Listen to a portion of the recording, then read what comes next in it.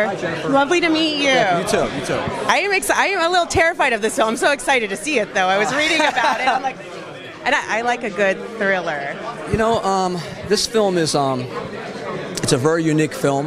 It has its own identity, as you'll see. Um, it will sit with you for a few weeks after you see it. So, um, the the title's very important, which I can't get into too much, but um, and it's based on true events, as you know. I did not know it was Yes. based on. I had, Yes. That I did not know. Yes, the writer and executive producer Chad Morton um, had a relative that went through this similar story. So a lot of the stuff you're seeing here is based on what someone actually went through. And I play Andrew Blosser, um, his best friend, voice of reason uh, throughout the film. So, but see it. Tell me what you think. Oh my I- god! Absolutely, we are, we're staying to see it. I'm very excited about it. I have one of my favorite people here, oh, she's- isn't it? she's I love best. her. She's, she's, she's not too bad, Erin O'Brien. I know Brian's a pretty good, pretty good person. Yeah, Erin and I did a uh, we did another film together called The Fifth Borough, and uh, she's professional, wonderful, great person, and she actually got me a bottle of whiskey. I'm trying to make her laugh.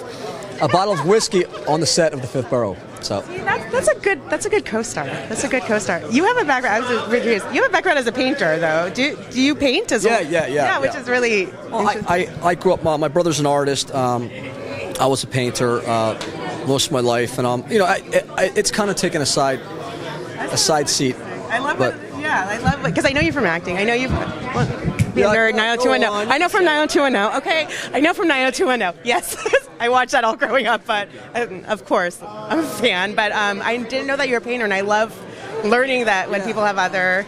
Yeah, you know, I love uh, painting. Such a great way to express yourself. Uh, you're in between acting jobs. You know, it's a great way to get in there and just get everything out and throw it down on canvas or paper or loose leaf or post-its, whatever I can get my hands on. Give me some pencils, paint, brushes, and I'll just I'll go nuts for a couple hours.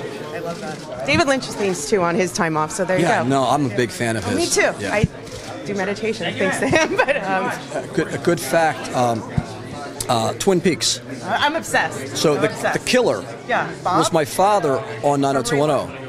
Wait. Rob Weiss. Oh my god, I love Ray. Ray Wise. Oh my god, I'm obsessed with like yeah. I, Played my- he, was, he was Noah Hunter's father. oh my god, he. was, I totally forgot about Daniel that. Hunter. How do you like that?